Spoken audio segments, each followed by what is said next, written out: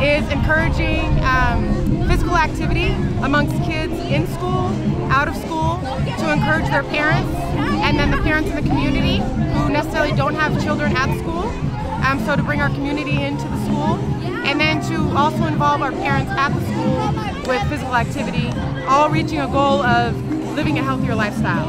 All they had to do was go out and work hard on their health, on their family's health, walk, run, participate, exercise for a short period of time in a concentration, and as a result, they've been rewarded with a $5,000 check. It promotes a healthy way to come to school. It promotes healthy living and exercise as a regular integral part of the day.